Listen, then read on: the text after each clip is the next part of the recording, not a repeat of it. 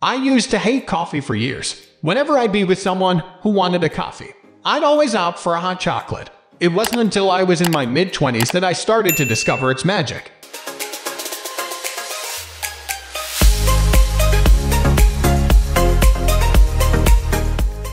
And I don't just mean the caffeine side effects. I mean the taste, the smell, and its ability to make my whole morning. Today, I look forward to that first cup of hot coffee like nothing else. It's in those quiet moments, sitting by my computer while my family sleeps, that I find so much peace and joy.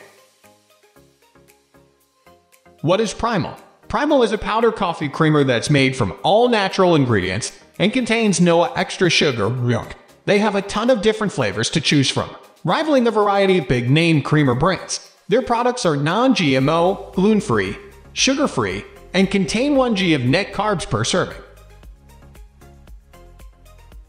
How much does it cost? There are two different sizes you can choose from, a large bag or a small bag. Large bags make between 25-30 cups of coffee, and the cost is $22, and the small bag makes 5-8 cups and costs $6. I would recommend buying a couple of small bags in the flavors that you think you'll enjoy first before committing to a large bag. That said, I've tried several flavors and have not been disappointed by any of them. How about shipping?